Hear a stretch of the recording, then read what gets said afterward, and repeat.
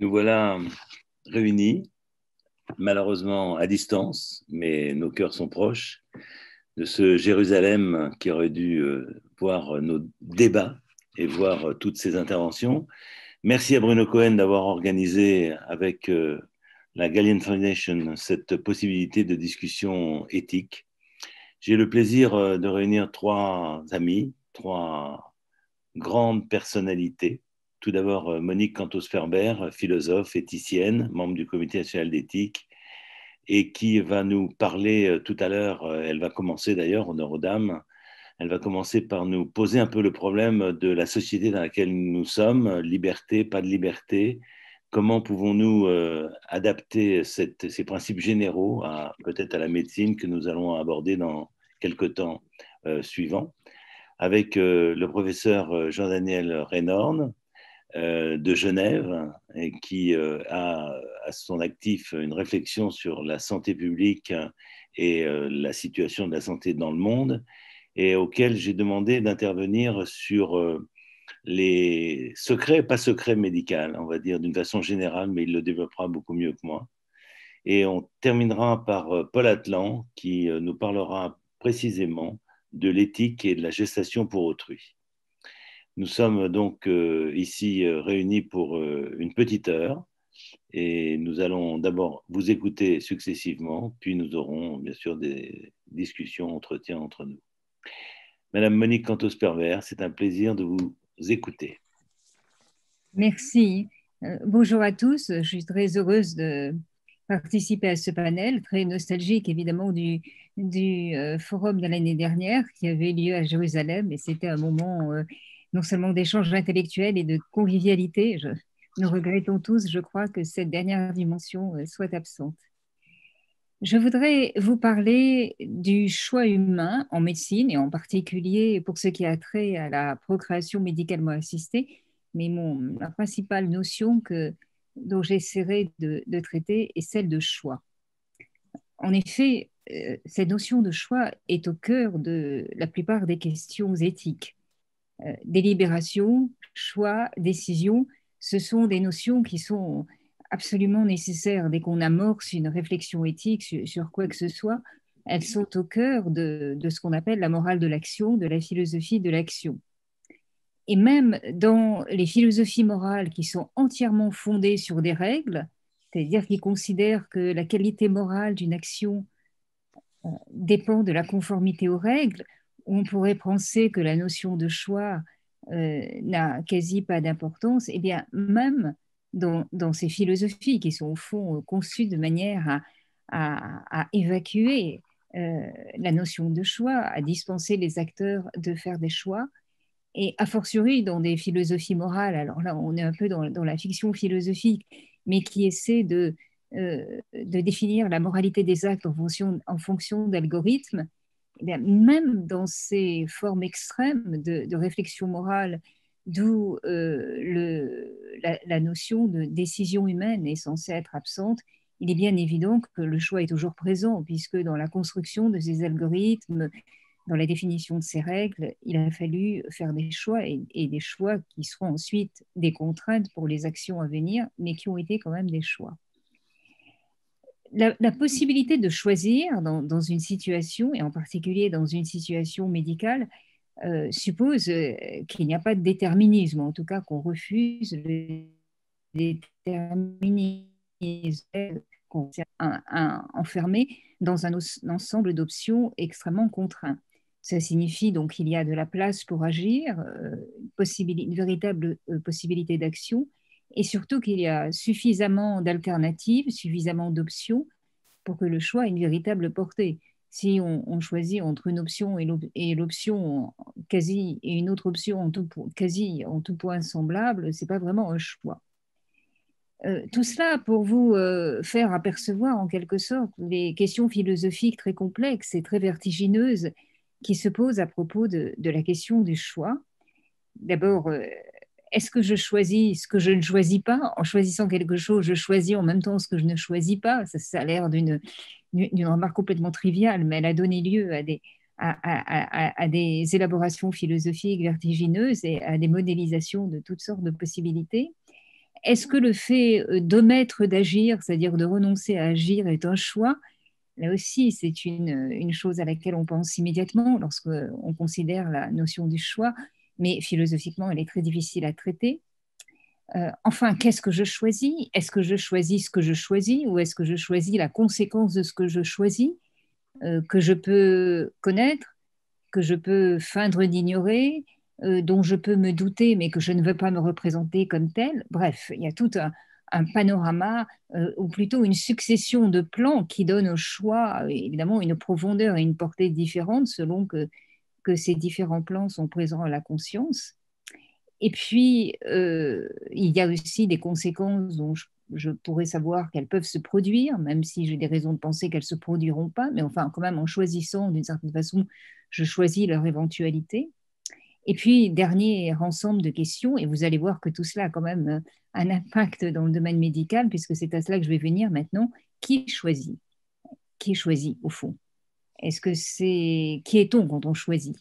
Euh, il y a même tout le courant philosophique existentialiste, avec depuis Kierkegaard jusqu'à jusqu'à Sartre, et, même euh, dans ses formulations plus contemporaines, considère que personne ne choisit d'une certaine façon enfin du moins celui qui choisit, il est constitué par son choix. C'est le choix qui crée la personnalité qui choisit. ça, c'est une position extrême, en quelque sorte, de décisionnisme existentiel radical où il n'y a jamais rien de préalable et que c'est fait choisir qui constitue le sujet de choix. Bon, bref, tout ça pour vous faire apercevoir à quel point euh, la, question de choix est, véritablement centrale dans toute réflexion sur l'action. Alors, dans le domaine médical, puisque c'est quand même ça l'objet de notre réflexion, même si je tenais à brosser ce, panorama pour que certaines des questions que je pose ne vous paraissent pas complètement arbitraires. Donc, dans le domaine médical, évidemment, le, choix est, est omniprésent. Choix du traitement, choix du patient, éligibilité des thérapeutiques, euh, euh, euh, choix du moment, choix du rythme d'administration du traitement. Enfin bref, je ne fais qu'évoquer certaines des questions qui, se posent en permanence dans le cadre d'une pratique médicale, le, choix semble avoir une place considérable. Et pourtant, la pratique médicale est bien l'une des pratiques sociales les plus encadrées qui soient. Il y a un code de déontologie, il y a, une éthique extrêmement contraignante qui, comme vous le savez, est fort ancienne, mais, et dont les, principes sont sans cesse revus, mais tout de même en obéissant toujours à, la même orientation fondamentale, en particulier pour ce qui a trait à la non-malfaisance. Euh, il y a aussi l'exercice de la pratique médicale ne se fait pas hors sol, elle est toujours très encadrée publiquement. La, plupart des pays, enfin je crois même la totalité des pays euh, ont euh, encadrent même de manière extrêmement stricte la part la plus privée de l'exercice de la médecine. Et par ailleurs, dans la pratique médicale, euh, en tout cas dès qu'il s'agit d'une pratique hospitalière, à quelque degré de que ce soit, le choix n'est pas un choix individuel, c'est très souvent un choix collectif qui euh, associe énormément euh, de, parties prenantes. Mais il reste que il y a cette idée que dans la mesure où la médecine a affaire aux deux, aux deux événements fondamentaux de, l'expérience existentielle d'aujourd'hui, enfin tels que nous nous les représentons, c'est-à-dire la naissance et la mort, et que il est très difficile pour une société de se représenter que que ces, événements ne sont pas d'une certaine manière liés à une volonté humaine, la tendance à euh, mettre en évidence, ou en tout cas à relier particulièrement la part du, choix en médecine à, la naissance et à la mort.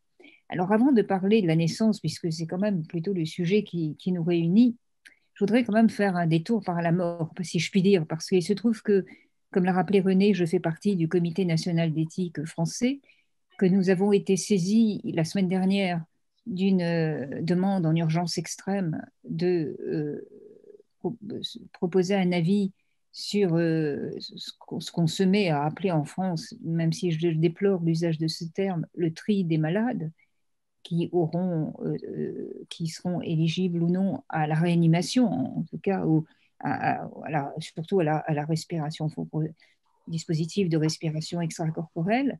Et euh, euh, nous avons notre président, Jean-François Delfrécy, qui est par ailleurs le président du comité, du, comité du conseil scientifique, pardon, qui est censé éclairer les, les, choix du président, de notre président de la République dans ce domaine. Euh, a constitué un, comité très resserré. Nous ne sommes que cinq et il m'a demandé d'y participer. Donc, comme nous devons euh, rendre notre avis après-demain, euh, j'ai vraiment cette question en tête, puisque là, il semble que, de manière presque caricaturale, le, choix médical dans ce genre de questions joue un rôle tout à fait fondamental. Étant entendu qu'il ne s'agit pas d'un choix comme le grand public tente à se le représenter, comme les journalistes tendent à le suggérer, et, comme certains euh, tendent à l'imaginer, comme s'ils voulaient se faire peur, il ne s'agit évidemment pas d'un choix entre eux qui, peut vivre et qui doit mourir ou qui va mourir. C'est un choix extrêmement complexe, un choix, un choix collégial, bien évidemment. Et, avant d'être un choix entre les malades qui bénéficieront des soins les plus extrêmes, mais aussi les plus risqués, puisque cette, réanimation est quelque, processus extrême que très peu de malades peuvent supporter, il y a aussi un choix qui est beaucoup plus méconnu aujourd'hui, qui est un choix entre les malades Covid et non Covid. Euh, en France, en tout cas, mais je pense qu'en Israël, la situation est assez, a été assez comparable au printemps. Les déprogrammations d'opérations en particulier, euh, la déprogrammation été quasi totale pendant presque trois mois. Ce qui signifie que des personnes qui devaient avoir une opération en urgence, en particulier dans la perspective d'un traitement d'un cancer n'ont pas pu être opérés. Et euh, parmi tous les réanimateurs que nous avons euh, auditionnés dans ce groupe de travail, euh, les, chiffres qui nous ont été donnés ont quelque chose d'effrayant.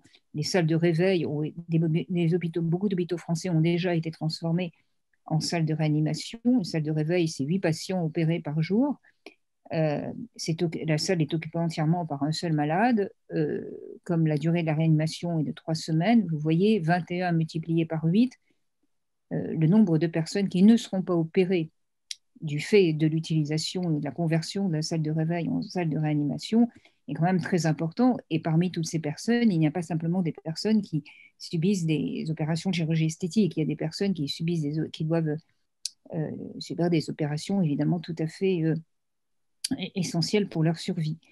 Euh, donc euh, le choix est à plusieurs entrées, c'est pas simplement euh, entre les malades Covid, mais aussi entre Covid et, non Covid et beaucoup d'autres aspects du choix en termes de mobilisation des ressources, des personnels, de l'impossibilité de faire passer des personnels des salles Covid en salles non Covid, etc. Bon, enfin bref, le choix est absolument constant et pour ce qui a trait à la question la plus dramatique, c'est-à-dire choisir les patients, choisir selon le, ou trier même selon le terme que, beaucoup voudraient employer aujourd'hui, les patients qui bénéficieront de la réanimation ou pas, eh bien, euh, j'ai pu constater, euh, d'abord, il y a quand même beaucoup de textes qui ont été publiés sur cette question, en particulier le dernier, le dernier communiqué de l'ASFAR, de la Société française d'anesthésistes réanimateurs, sur la priorisation, puisque c'est le mot quand même plus technique, des traitements de réanimation des patients en état critique.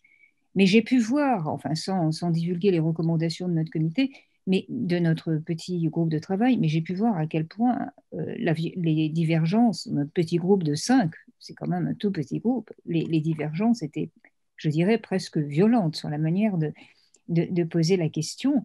Et euh, un de nos membres insistait sur le fait qu'on ne pouvait pas laisser les médecins devant la les médecins réanimateurs hein, devant la nécessité de choisir, alors que tous les anesthésistes que nous avions euh, euh, interrogés, et certains à la tête des plus gros services euh, français, insistaient sur le fait que le choix en réanimation était un choix constant, même indépendamment de la circonstance Covid. Il y avait toujours une évaluation collégiale des capacités de la personne de, supporter euh, des, traitements de, de, dernier recours. Il reste que l'un d'entre nous, par exemple, souhaitait des guidelines pour que les médecins n'aient pas à choisir? Disons qu'il fallait absolument baptiser ou euphémiser ou présenter ces guidelines comme éthiques, sans quoi les médecins seraient complètement perdus et n'oseraient plus prendre de décision euh, s'ils n'avaient pas, euh, s'ils étaient devant euh, ce qui pourrait être perçu par le grand public comme un choix.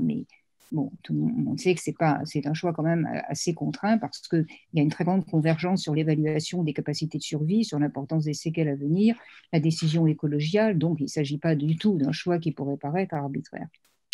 Alors, euh, si vous voulez, on peut dire qu'il n'y a aucune comparaison possible entre le choix par rapport aux décisions de, de, mort dans des circonstances aussi tragiques que celles que nous connaissons aujourd'hui et, les choix qui sont liés à la naissance, et en particulier à la procréation mais médicalement assisté. D'un côté, on a une urgence extrême, une pression, tous les regards de la société braqués sur, ce qui se passe dans, dans, ces salles de réanimation où, le public veut, se convaincre qu'on choisit les patients. Et puis par ailleurs, euh, ce qui se passe évidemment lorsque euh, on décide ou non de procéder à une procréation médicalement assistée, euh, à quel moment, et pourquoi, etc. Mais il reste que euh, si vous voulez, euh, il, y a quand même, des traits communs et je voudrais euh, parler quelques minutes de la procréation médicalement assistée pour les faire apparaître. D'abord, il est clair que la procréation médicalement assistée, là, nous avons souvent eu l'occasion d'évoquer ces questions avec, avec René, n'a de sens que dans un monde où le choix est possible, parce que quand la tout ce qui a trait à la naissance est, une fatalité, c'est comme ça, ne peut pas être autrement, il n'y a pas d'intervention humaine possible, il n'y a pas de possibilité de choix a fortiori. Ensuite, en matière de procréation médicalement assistée, les choix sont très, sont très largement répartis, si je puis dire, très largement disséminés. Il n'y a pas simplement le choix du, du, praticien, il y a le choix des parents, euh, le choix de la mère qui a longtemps et qui a peu encore d'ailleurs une position tout à fait dominante. Et d'ailleurs, euh, dans, la fiction médicale euh, qu'Henri Atlan avait imaginé de l'utérus artificiel, enfin peut-être qu'un jour ce ne sera pas une fiction, mais enfin en tout cas je le prends comme fiction, euh, le choix de la mère là disparaissait justement. C'était l'utérus artificiel avait pour effet secondaire de, faire disparaître le caractère absolument dominant de la mère, puisque en fait l'utérus artificiel il n'appartient pas plus à la mère qu'au que, père. Euh, il y a donc le choix des médecins euh, qui est très fréquent, euh, enfin qui est répété.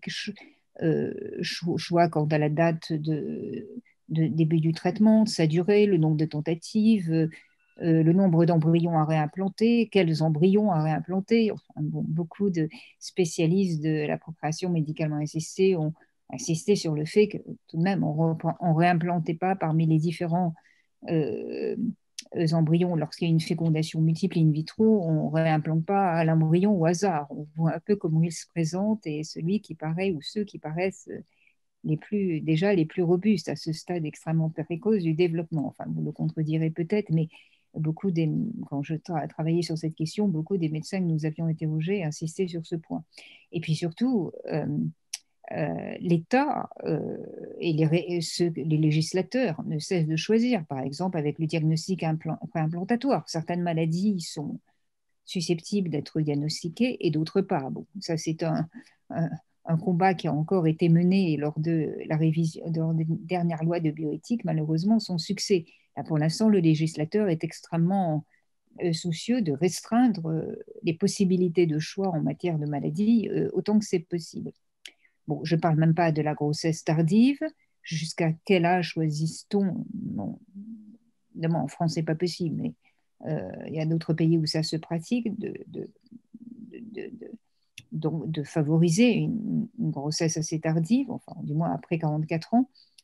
Euh, lorsque nous avions travaillé sur le bébé médicament euh, rebaptisé en bébé docteur, la question de lorsqu'il s'agissait d'implanter et de réimplanter l'embryon, même si la question ne se pose plus maintenant, en tout cas en France, il reste que d'un point de vue théorique, c'est intéressant, lorsqu'il s'agissait de réimplanter l'embryon qui était susceptible d'être donneur de sang de cordon pour un enfant malade atteint de la maladie de Fanconi, euh, un des arguments que j'avais avancé d'ailleurs au comité d'éthique, puisque j'étais responsable de ce groupe de travail, c'est de souligner que, au fond, en la matière, on préférait que le hasard agisse plutôt que le choix humain. On voulait, on voulait que le, choix, que l'embryon a, réimplanté ait été désigné par le hasard. On ne voulait pas que ce soit la volonté médicale inspirée par une bonne intention, c'est-à-dire euh, faire naître un enfant qui pourrait être donneur de sang de cordon et, euh. Et j'avais insisté sur le fait que nul n'avait encore démontré que le hasard était plus moral que le choix humain bien intentionné. Je dois dire que cet argument avait porté. Et ça m'a d'autant plus étonné qu'il porte parce que euh, en France, le choix humain est plutôt vu comme un choix douteux. Ce n'est pas quelque chose qui est exalté. Euh, dans beaucoup de questions qui ont trait à la procréation médicalement assistée, on essaie autant que possible de, réduire la part du choix. Monique, il va falloir euh, réduire un peu. Je, voilà, ben moi je, je, conclue donc. Euh, toute l'éthique médicale française, en tout cas telle qu'elle est transcrite par la loi, cherche à effacer la dimension du choix. Soit parce qu'on préfère laisser le hasard, soit parce qu'on préfère l'anonymat, le fait que l'anonymat règne, qu'on refuse euh, de choisir les donneurs, euh, euh, qu'on préfère une, allocation, qui, une distribution qui n'est pas complètement arbitraire des, des, ovocytes et, du sperme, mais qu'en tout cas où le choix humain est, annihilé, est tout à fait caractéristique. Et puis surtout, on craint que les choix humains soient toujours porteurs de volontés eugéniques, choix du sexe, folie du bébé programmé, etc. Donc, évidemment, moi, je, ne, suis pas, je ne pense pas que le, choix humain euh, soit, toujours pathologique. Au contraire, je pense qu'il peut être extrêmement, euh, qu'il peut contribuer dans, certains, sur certaines questions à apporter un véritable, un, véritable, une véritable plus-value morale, si je puis dire. Ça, c'est un point dont je voudrais euh, discuter après. Et en revanche, il y a une limite, et c'est sur ça que je voudrais conclure, une limite où, selon moi, euh, le, choix n'est plus admissible. Non pas du tout parce que un choix serait toujours intéressé, euh, euh, risquerait d'amener des problèmes, etc. Ce sont des arguments qui sont souvent avancés, en particulier pour refuser l'anonymat des, dons de gamètes, mais simplement parce qu'il y a des choix qui sont des intrusions radicales dans la vie d'un autre être humain, en particulier l'enfant à naître. Par exemple, un choix consistant à c'est hors de question aujourd'hui, c'est même totalement interdit par toutes les lois. Mais à titre d'hypothèse théorique, le clonage, le clonage reproductif, ça supposerait qu'on choisisse l'identité génétique de l'enfant à venir, c'est-à-dire qu'il y a une véritable intrusion humaine, une véritable intervention humaine dans ce que sera un être humain à venir. Et ce type d'intrusion-là, aussi radicale, dépasse les bornes de l'influence, à mon sens, qu'un être humain peut avoir sur un autre être humain. Donc, euh, je, voudrais valoriser le, choix humain avec toutes les, limites, les contraintes et les encadrements que j'ai donnés dans ce bref exposé, euh, en, insistant sur la nécessité de poser une limite, et je ne vois pas d'autre limite légitime que celle-là. Merci Monique Cantos-Ferber de nous avoir euh, centré ainsi sur le problème du choix, choix que tout le monde souhaiterait avoir comme grande expérience de liberté et en même temps, dès qu'il se confronte euh, à d'autres personnes, à une société, euh, se, met en question, est mis en question par cela. Euh, nous allons demander à professeur Jean-Daniel Renorn, donc spécialiste de la santé internationale et de l'action humanitaire, peut-être de nous resituer le problème du choix individuel vers une plus grande liberté et de réalité il s'impose de plus en plus, euh, non seulement en médecine, mais dans la collection des datas euh, que nous avons, que nous faisons ici ou là, et cette contradiction qu'il y a entre cette, euh, non pas choix, mais cette soif de liberté euh, qui est là, et en même temps cette réalité qui la limite énormément, parfois à notre insu. Merci, je vais vous mettre sur mon écran. Voilà. Très bien. Merci euh, René euh, de cette euh, introduction. Merci à Bruno et à la Gallian Foundation d'avoir donné l'opportunité de discuter de choses considérables dans ce webinaire. En fait, moi aussi, j'ai été, comme Monique, troublé, questionné par cette pandémie qui est venue comme une espèce de, folie intrusive, euh, reposer des questions que j'avais entre autres posées l'année dernière à Jérusalem de manière différente et en, les complexifiant. En d'autres termes, euh, la, pandémie fait surgir des paradoxes en termes des relations entre les nouvelles technologies de l'information et de la communication et euh, les données confidentielles de santé.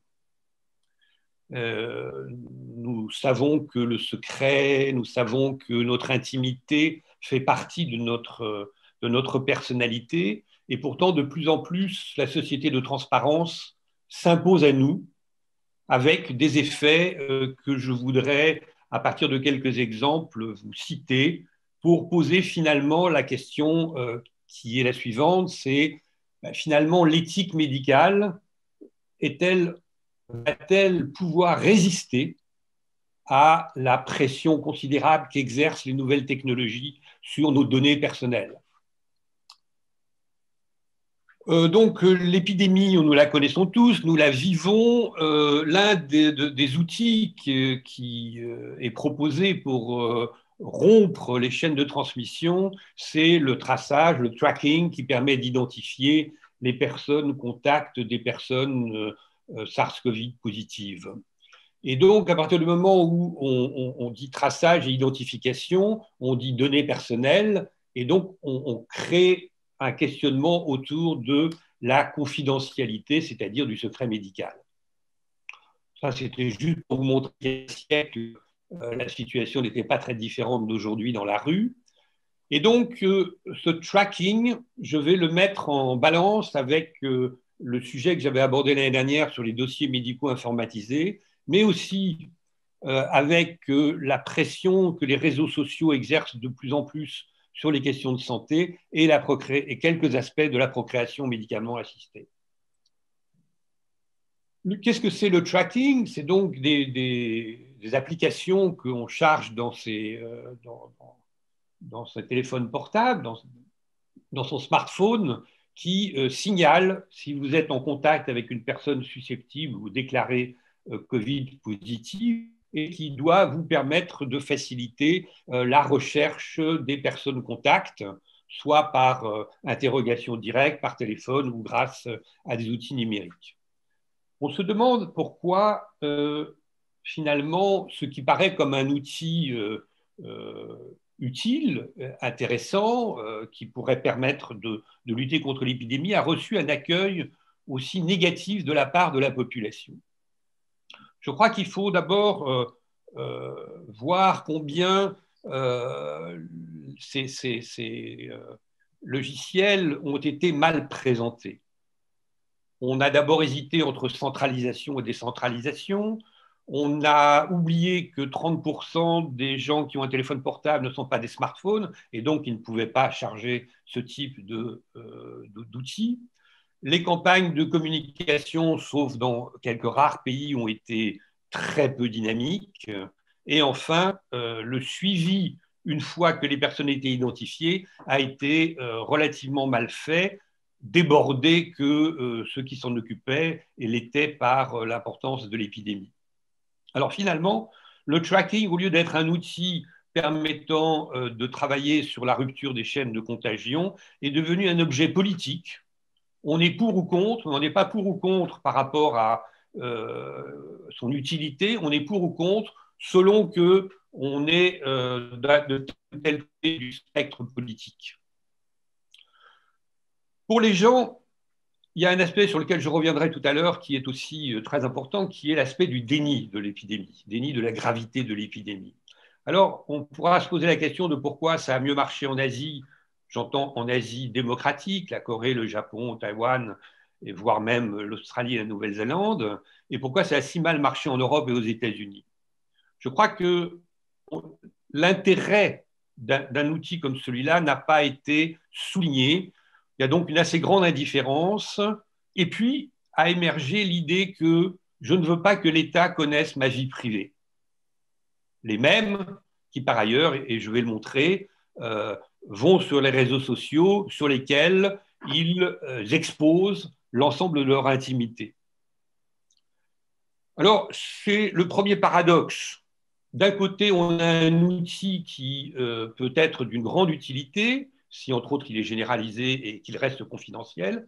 De l'autre, on a une représentation collective de l'État forcément contrôleur de l'individu, revenant effectivement à un certain nombre d'images, de représentations sur euh, les sociétés communistes, les sociétés euh, totalitaires, euh, la démagogie politique, etc. Il y a donc, malgré son utilité, une méfiance vis-à-vis de l'outil qui est proposé. Si on regarde la question des dossiers médicaux informatisés, je vous en avais parlé l'année dernière, on voit que sans aucun problème, la plupart des pays ont confié la gestion de nos, notre intimité, de nos données confidentielles et personnelles aux euh, grands majors du numérique, c'est-à-dire les GAFAM. Donc, la France a demandé à Microsoft de gérer les données du dossier médical partagé. Euh, en Europe, c'est euh, la compagnie Siemens qui gère une bonne partie des dossiers des pays européens. On trouve donc un État qui non seulement n'est pas capable de contrôler euh, les données, mais même les, donne à des institutions qui vont en faire commerce sans que les patients dont on va euh, commercer les données aient, leur mot à dire. Et donc, on fournit euh, gratuitement à des grandes compagnies euh, ce qu'elles appellent elles-mêmes l'or noir du XXIe siècle, c'est-à-dire la donnée confidentielle. Ceci au détriment du secret médical, ce qui pose évidemment des euh, problèmes considérables dans les relations entre les médecins et leurs patients. Alors, il y a une grande indifférence euh, dans la plupart des pays sur la question des dossiers médicaux informatisés et sur le risque que prend le secret médical. Euh, je pense que cette, cette, indifférence, elle est en particulier liée au fait qu'il y a une méconnaissance des conséquences, ou bien il y a une telle confiance dans les soignants qu'on ne peut pas imaginer que ces données, mes données personnelles, puissent servir à quelque chose d'autre qu'à faciliter le suivi et donc améliorer la qualité des soins. Si on regarde un troisième exemple qui est euh, celui euh, des réseaux sociaux, je prends l'exemple de Facebook parce qu'il est, effectivement le plus caricatural. Facebook, c'est près de 3 milliards d'adhérents. C'est en moyenne, euh, dans les sociétés occidentales, de 60 à 80% euh, des personnes âgées de plus de 15 ans qui sont adhérents à Facebook.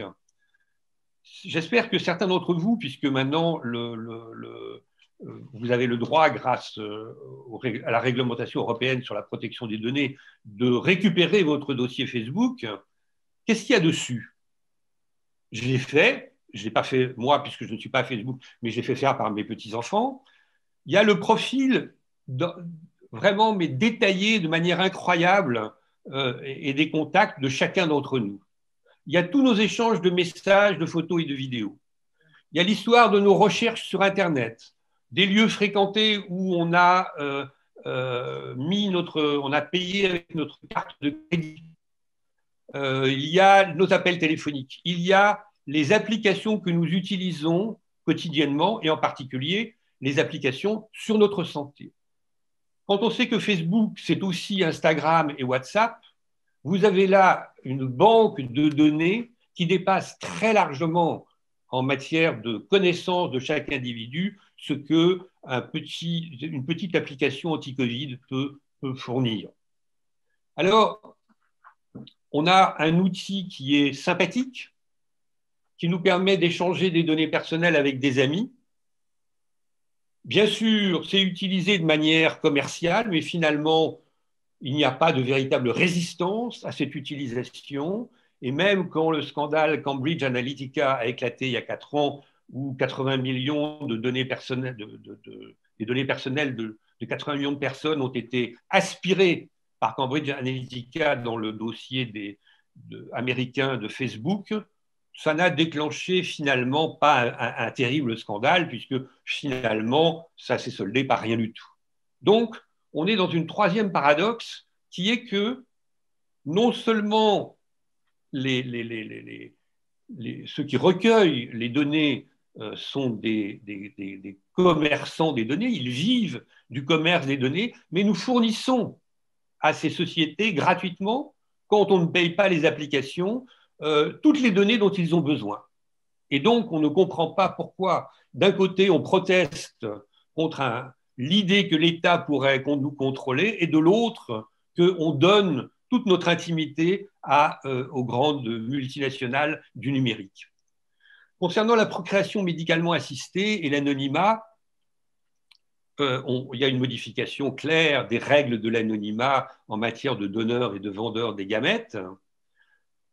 On peut rechercher de plus en plus facilement, les, banques d'ADN se sont développées et sont à la disposition de ceux qui veulent bien s'y rendre.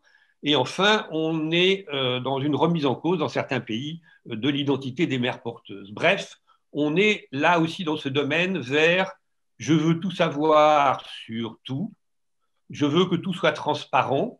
Et donc, on donne à des sociétés anonymes la possibilité à nouveau de tout savoir sur nous. Quel est le risque dans, et là peut-être René Friedman est mieux placé que moi, quel est le risque de savoir en matière de procréation?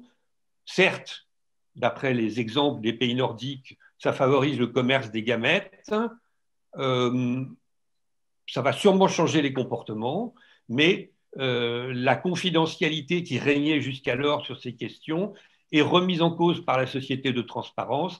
Et là encore, je pense que ça pose un problème éthique qui est assez considérable et qui pour l'instant n'est pas résolu. En conclusion, je dirais que on, est face à une sorte de, négation, de déni du fait que l'espace intime, c'est notre personnalité. Et que donc, euh, de tout savoir sur tout modifie complètement l'intime psychique et corporel. Et donc, cette question est très peu abordée et je crois qu'il y a là une exigence qui, doit faire que dans des, symposiums comme celui-là, nous nous, nous concentrions sur ces questions. Étaler son intimité sur Facebook, c'est se donner l'illusion d'exister. Il y a toute une littérature sur euh, les amis des réseaux sociaux versus les amis dans la réalité. Je crois que euh, cette question, elle, est sous-estimée et qu'il est urgent d'en débattre. La deuxième conclusion, c'est l'importance du déni qui s'exerce à la fois vis-à-vis de l'épidémie, qui s'exerce vis-à-vis de l'importance de la perte du secret médical, qui s'exerce sur le risque social et personnel de la circulation des données confidentielles, qui s'exerce sur, euh, finalement, je suis plus confortable avec un moi virtuel inventé qu'avec mon moi réel, et que là encore, euh, je crois que ces questions sont malheureusement sous-estimées. Alors, y a-t-il encore un concept de confidentialité? Y a-t-il encore un consentement éclairé dans une société de la transparence? Je crois qu'il faut qu'on s'intéresse à cette question. La deuxième, c'est comment allons-nous travailler les médecins alors que le secret médical est de plus en plus inexistant?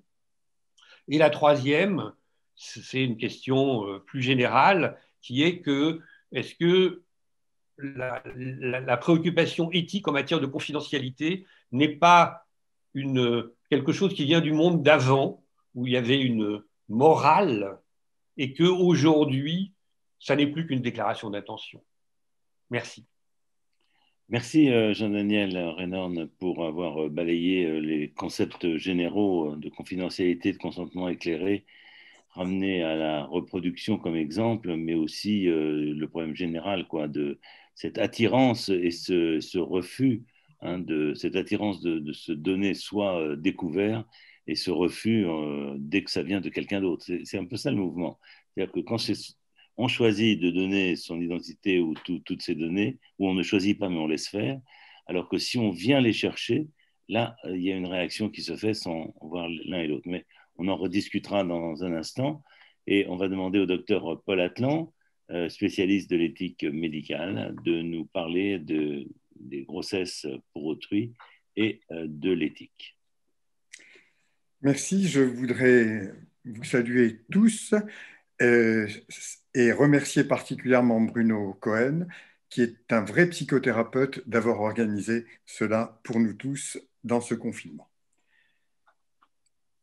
Humanisme et maternité de substitution. Aucun de nous est une feuille blanche, aucun de nous n'a commencé son développement à la naissance. Nous sommes tous venus au monde munis de transcriptions, entre guillemets, génétiques, psychologiques soumises aux événements, aux, événements de l'environnement. Nous avons fait partie pendant neuf mois du corps de notre mère en contact avec les signifiants de nos deux parents. C'est une citation de Sam Piano, qui est professeur de psychiatrie à Tel Aviv, dans le livre La transmission générationnelle, qui est paru euh, en août 2020. L'assistance médicale à la procréation implique une dispersion des protagonistes de cet engendrement, une extériorisation hors du corps féminin. Comme le disait Aristote, l'homme engendre toujours en dehors de lui-même. Et en cas d'apport de gamètes étrangers au couple, une filiation sans identité rattachée à une histoire. Notamment quand l'embryon issu de cet assemblage de gamètes est transféré dans l'utérus d'une participante supplémentaire, ce qu'on nomme une mère dite porteuse. C'est cette problématique particulière qui va créer une situation équivoque, supplémentaire dans cette dispersion de l'identité et dans cette dislocation de la filiation après une brèche dans la transmission génétique. C'est une confusion qui est réalisée par plusieurs modes. La transmission épigénétique, la transmission psychique, la transmission physique, réalisée par le passage intra-utérin dans le temps d'une grossesse, temps qui n'est pas neutre, même probablement dans l'éventualité future d'un utérus artificiel, éventualité aujourd'hui hypothétique. L'inhumanité, c'est la chosification de la gestation par une instrumentalisation de l'utérus machine, au point que pour certains, cette pratique s'apparenterait à un esclavage, une prostitution d'une durée de 12 mois, 9 mois de la grossesse et 3 de suite de couches, 24 heures sur 24, pour s'achever par un abandon d'enfants programmés. L'inhumanité, est-ce l'ignorance de l'identité, de l'acceptabilité d'une filiation dispersée, de la méconnaissance de l'identification des origines? Pour inventer la construction du présent et façonner l'avenir L'inhumanité, est-ce aussi la manipulation génétique annoncée des embryons? Exemple, Medical Press, University of Illinois, du 21 octobre, dans le site génétique. Si les embryons sont relativement protégés du gene editing, les gamètes restent dans une zone grise et un document du professeur Cherkov estime que les objections connues concernant la modification des embryons sont tout à fait différentes pour les spermatozoïdes et les ovocytes et réclame que le Congrès américain précise la législation si elle devra s'appliquer uniquement à celle des gamètes ou à la modification génétique des embryons. L'identité, l'affiliation, ce n'est pas seulement un savoir sur les gamètes, considérés comme des médicaments, alors qu'ils ne sont aucunement des traitements, au contraire du bébé docteur, mais en l'occurrence des dons, afin d'occulter le transfert d'un patrimoine génétique. Et c'est autant, et c'est là vraiment ma thèse, le séjour intra-utérin, le temps de la grossesse, c'est cette conception dans le temps qui va créer l'identité et la filiation. Je l'ai dit, telle est ma thèse. La généalogie, ce n'est pas seulement un savoir génétique qui amènerait à la sanctification du tout génétique, mais tout autant un savoir sur l'échange fœto-maternel par une interaction permanente et totale entre la parturiente et le futur enfant, lui permettant sa croissance et la formation de ses organes. Chaque fois que la mise généalogique pour un sujet est perdue, la vie ne vit pas, Pierre Legendre, dans les leçons 4, l'inestimable objet de la transmission. Albert Camus avait dit ne pas nommer les choses, c'est ajouter du malheur au monde. Et à mes yeux, nommer les choses, c'est le premier acte éthique. Et je continue avec Albert Camus dans son discours de prix Nobel à Stockholm en 1957. Je cite Chaque génération se croit vouée à refaire le monde. La mienne sait pourtant qu'elle ne le refera pas, mais sa tâche est peut-être plus grande. Elle consiste à empêcher que le monde se défasse. Aujourd'hui, empêcher que le monde se défasse, c'est aussi de dénoncer la maternité de substitution comme protagoniste de dislocation de la transmission, de retour au tohu-bohu initial. Comme l'a écrit Margaret Atwood dans La Servante écarlate, ces maternités de substitution réalisent, entre guillemets, des utérus sur pattes et des lieux de transit. Effectivement, il paraît nécessaire de nommer et de décrire la pratique de ce mode d'enfantement. Assurément, le terme de gestation pour autrui s'est insinué dans la sémantique de leurs promoteurs et des médias proches d'eux, très probablement pour lui attribuer une connotation altruiste dans une perspective positive par un effacement subtil du concept de mère, notion juridique et historique définissant la femme qui accouche ce qui permettra d'occulter ce qu'on peut appréhender comme un abandon d'enfant à sa naissance grâce à une opération financière scellant ce contrat de location d'utérus avec apparition d'une volonté d'effacer la notion du principe et mère celle qui accouche en ignorant ce qu'est une grossesse au plan scientifique et psychique. Pater est, mater semper certa, deux axiomes historiques se volatiserait ainsi. Enfin, le prêt d'utérus ne peut être assimilé au don d'organes qui, lui, est gratuit et destiné à sauver des vies, alors que le prêt d'utérus est payant, possiblement iatrogène, et destiné non à sauver des vies, mais à produire, au sens produit de consommation, des vies. Alors, euh, on va aller vite, mais en parlant euh, de ce dont il s'agit avant la grossesse, pendant la grossesse et après la grossesse. Alors, quelques mots. Avant la grossesse, je rappellerai qu'avec la contraception est réalisée une dissociation entre acte sexuel et procréation. Avec la mère porteuse est créée une dissociation entre grossesse et maternité. La nature du contrat qui lie la femme porteuse au couple commanditaire, il y a plusieurs manières de réalisation du contrat. On va aller vite. Ça peut être euh, gamète du couple commanditaire, ovocyte d'une femme sperme de donneur, ovocyte d'une donneuse sperme de donneur, etc., etc. Mais comble, ovocyte de la porteuse et sperme du couple commanditaire. La somme éventuellement versée constitue une atteinte au principe de non-commercialisation du corps humain, avec le risque que ce mode de maternité devienne une véritable pratique commerciale comme le montre l'expérience des pays qui l'acceptent. Dans quelles circonstances Quelle situation Les seules circonstances médicales, je ne dis pas indication, sont l'absence d'utérus, soit par anomalie congénitale avec le syndrome de Rokitansky, soit après une hystérectomie, soit en cas d'utérus non fonctionnel, comme dans le syndrome d'Asherman, ou euh, accolement des parois utérines, etc. Sinon, les autres modalités, je ne dis toujours pas indication, sont des demandes sociétales faites par des couples homosexuels masculins, et dans ce cas, on ne peut pas parler de stérilité, ou des couples hommes-femmes, chez lesquels, en raison de l'âge avancé de la femme, par exemple, l'utérus n'est plus fonctionnel. Enfin, des couples féminins dont l'une portera l'embryon créé avec l'ovule de l'autre et un don de sperme. Quelle législation? En France, pour le moment, cette pratique est interdite au nom du principe d'indisponibilité du corps humain. je cite, Chacun a droit au respect de son corps, le corps humain est inviolable, ses éléments et ses produits ne peuvent faire l'objet d'un droit patrimonial, article 16.1 du Code civil, est permise dans beaucoup de pays avec des fluctuations locales.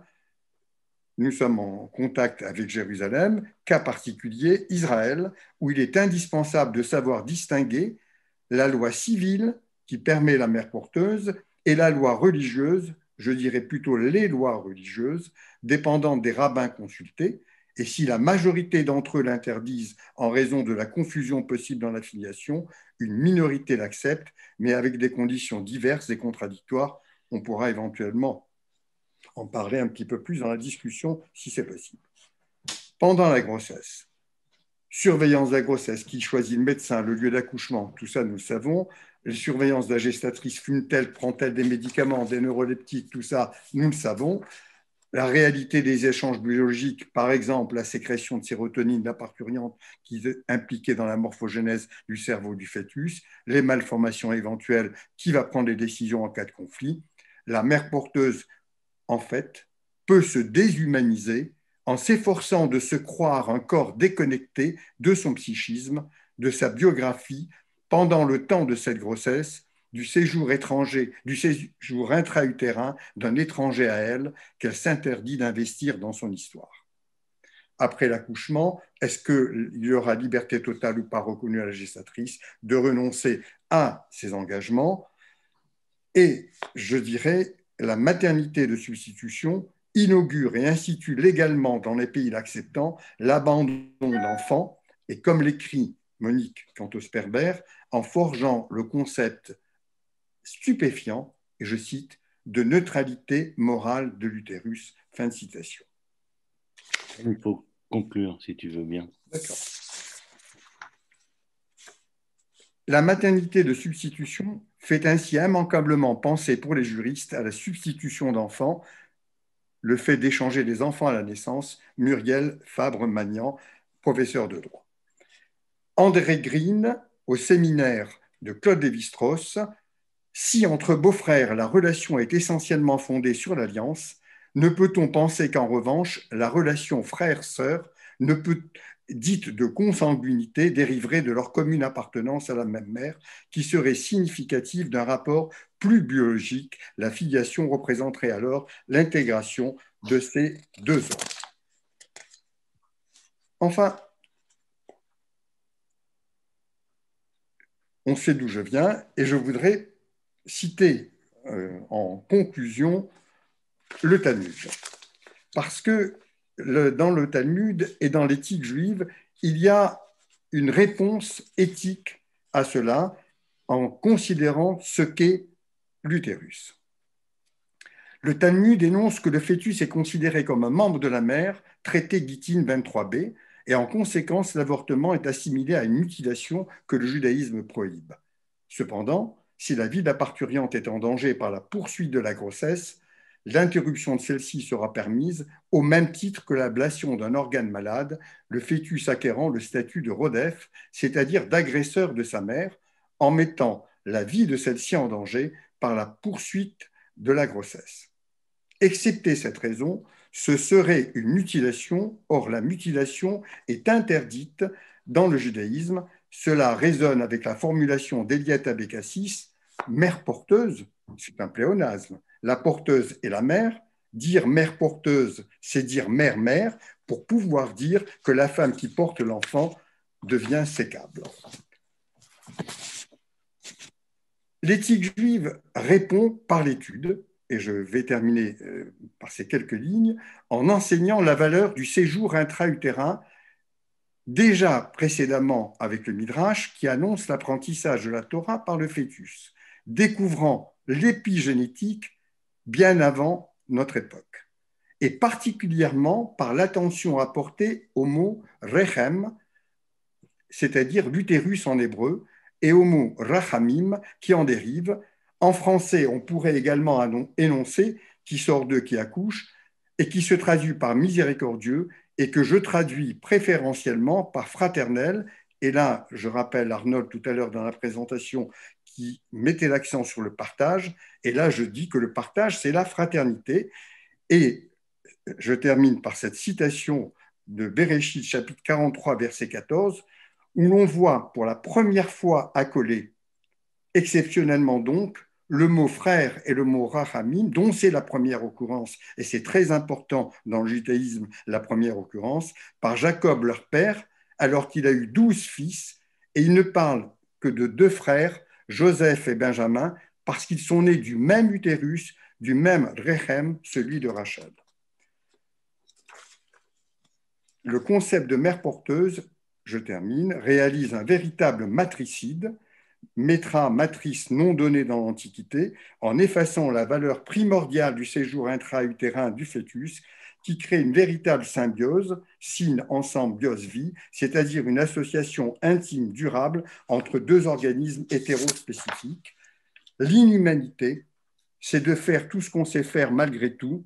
Cela résonne aussi avec ce que Jean Leonetti nous a dit, tout ce qui est possible, tout ce qui est faisable n'est pas possible. Et enfin, je termine avec mon ami de Ménoir Béni, Raphaël Drahi, la Shoah peut se comprendre aussi comme la conséquence d'une immense éclipse de l'humain à laquelle l'humanité ne s'était guère préparée puisqu'elle pensait advenue l'ère de sa suraffirmation par la maîtrise du monde, cela grâce au propre des sciences et des techniques. Je vous remercie. Merci Paul Atlan pour euh, ces réflexions, ces citations. Et euh, tous les trois, à tous les trois, euh, merci de votre travail, de votre recherche qui nous donne à penser. J'ai le sentiment que, en fin de compte, apparaît vraiment le problème du choix, du choix de, pour un individu, pour un individu donné, mais aussi, et, Monique Canto l'a très bien dit, qui choisit pour qui? C'est-à-dire, le choix de l'un va-t-il avec le choix des autres? Et Jean-Daniel Reynorn a montré comment cette aspiration euh, de liberté qui aboutit des fois à des refus euh, euh, de précautions médicales, comme on l'a vu avec le Covid ou avec la vaccination, donc ce soif de liberté et donc d'un grand choix s'accompagne en souterrain de façon méconnue ou, ou oubliée presque le fait qu'un certain nombre de données circulent et peuvent circuler à l'extérieur de soi, justement, et être prises en main par euh, des, puissances, on va dire, extérieures, même si ce n'est pas tout à fait le cas aujourd'hui. Euh, l'exemple des, mères porteuses que nous a donné euh, comme réflexion Paul Atlan cristallise bien ce problème. Le choix des commanditaires est-il le même que le choix de celle qui va accepter, pour des raisons à creuser financières ou pas forcément que financières, euh, de porter un enfant et s'en séparer, le choix de l'enfant de savoir est-ce que cette, euh, cette mère euh, qui l'a porté un terrain peut-elle peut-il la retrouver? Peut-elle peut faire partie de son existence officiellement? On est toujours entre le, connu et l'inconnu, entre le visible et l'invisible. Et c'est vraiment des problématiques qui ont toujours existé, mais qui sont euh, vraiment d'actualité avec le développement de ce qui se passe avec le Covid, ça a été mentionné, et aussi de ces techniques de reproduction qui reposent ces problèmes fondamentaux euh, du lien des uns ou des autres. Euh, puisque nous n'avons pas beaucoup de temps, j'aimerais quand même que chacun d'entre vous donne un, commentaire sur, sur l'ensemble et fasse une phrase de, de, conclusion. Et je me retourne vers Monique quant au sperber.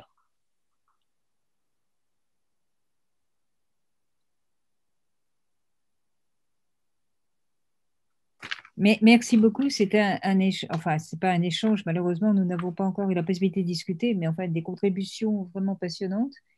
Et euh, alors, euh, euh, bon, bien voilà, en effet, comme tu viens de le remarquer, la question de la, la décision humaine, au fond, parce que quand on parle de choix, on parle de d'intervention d'une décision humaine. Enfin, il s'agit de la part de l'humain dans, un ensemble de pratiques est extrêmement euh, codifié, qui, doit être en conformité avec un certain nombre de codes de valeurs extrêmement contraignantes, en l'occurrence la pratique médicale, mais euh, où les, demandes de la société et l'évolution des technologies ouvrent des possibilités considérables qui, doivent être bien sûr en partie bornées. Et les, questions éthiques, c'est de savoir euh,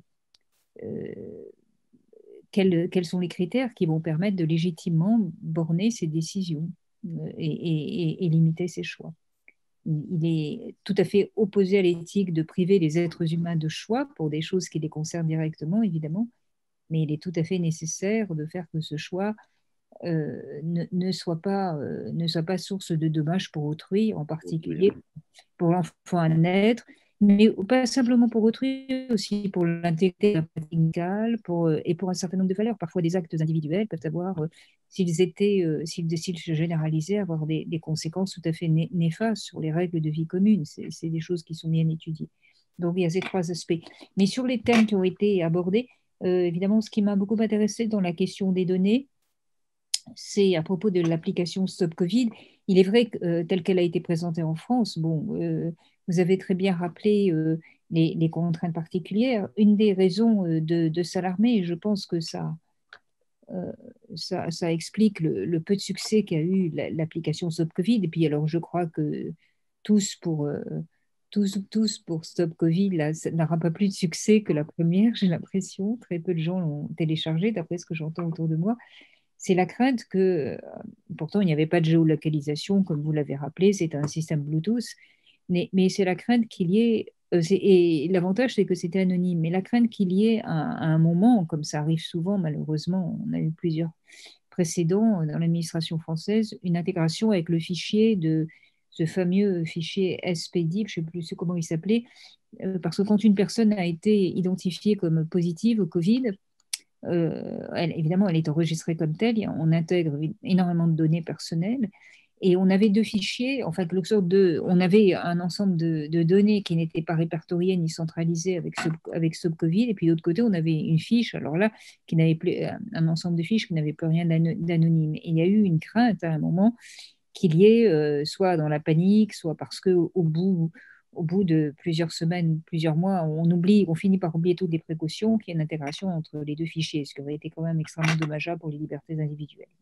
Ça, je pense que c'était une et ça montre que, comme vous l'avez admirablement montré, euh, on, est très délicat pour ce qui a trait à, la préservation de la liberté, euh, mais en même temps, euh, on n'est pas très vigilant sur l'usage qui est fait. on est exigeant sur les principes, mais au fond, il y a très peu de personnes qui se mobilisent sur le suivi. Ça, c'est peut-être une caractéristique de l'esprit français, mais malheureusement, je crois que ça, fait, ça correspond à un fonctionnement humain, des caractéristiques psychologiques très, très caractérisé. Alors, sur, la, gestation pour autrui, en effet, je, trouve que la, question était euh, très, très bien posée.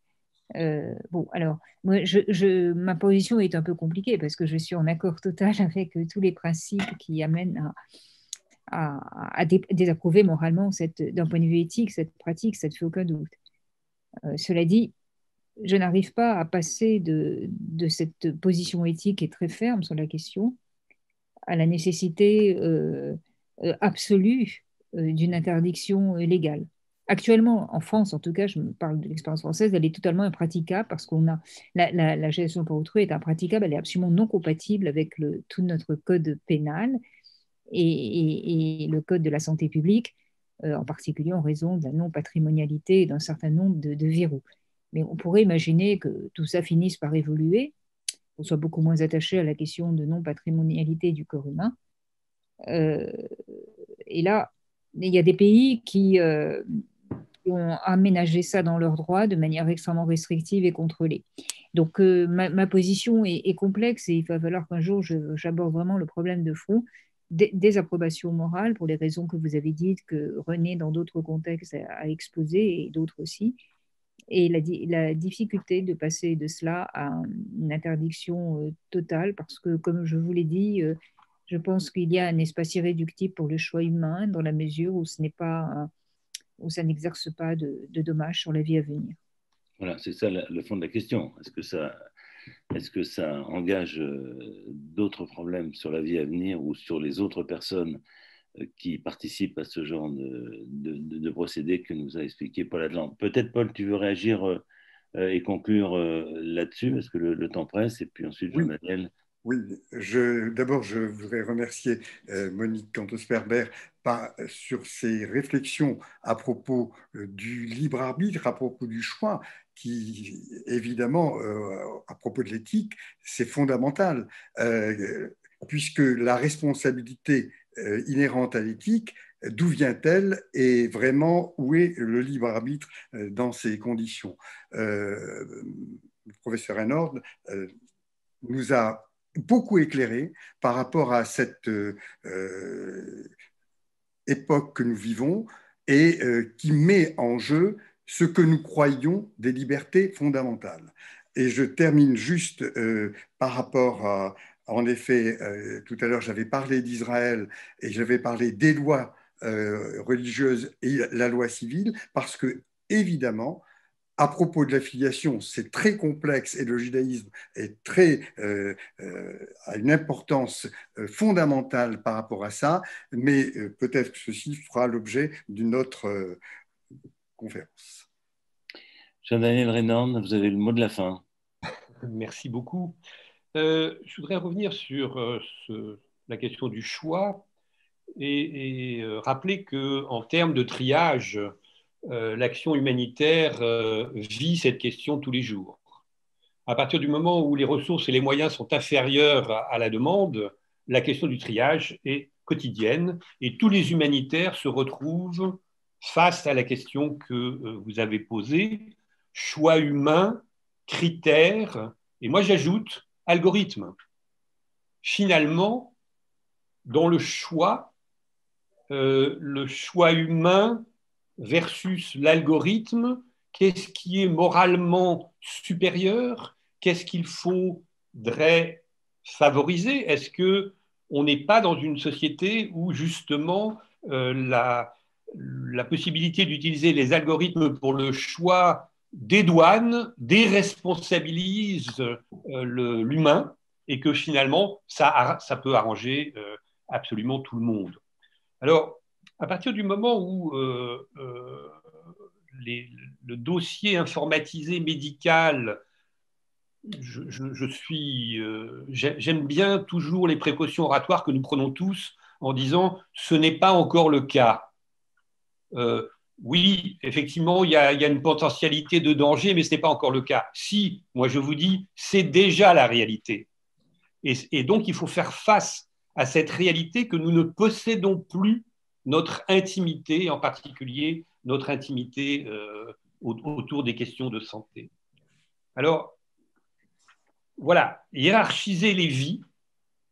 Est-ce que nous, finalement, nous ne passons pas notre vie à hiérarchiser les vies, surtout euh, euh, les, médecins, sélectionner les bénéficiaires, mais finalement, on le fait dans la pratique. Et la tendance, à mon avis, de la société de transparence, c'est de décharger notre responsabilité ou ce qui est d'humain dans notre responsabilité sur des machines. Concernant la question des mères porteuses, bon, c'est un sujet sur lequel je me suis, euh, j'ai pas mal travaillé, mais d'un point de vue commercial. C'est-à-dire que euh, l'idée même qu'on puisse commercialiser la grossesse pour autrui euh, rentre toujours dans cette même évolution de la société qui fait que, oui, effectivement, euh, on a tous les URL d'institutions, entre autres californiennes, qui donnent des catalogues de euh, mères porteuses potentielles avec le prix qu'elles demandent et leurs caractéristiques phénotypiques, génétiques, etc., etc., et qu'on a déjà dépassé le stade artisanale dont on parle toujours parce qu'on est rentré dans un stade industriel. Et que, je finirai par là, la phrase que vous avez citée sur la Shoah, mais l'industrialisation de la mort, est-ce que tout ça n'est pas, ne touche pas à l'industrialisation de la mort?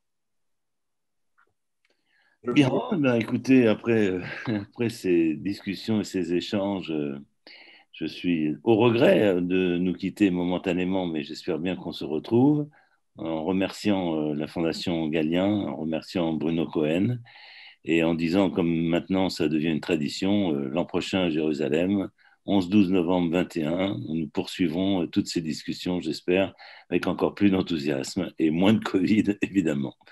Merci à vous tous et à bientôt. À Merci bientôt. beaucoup. À bientôt. À bientôt.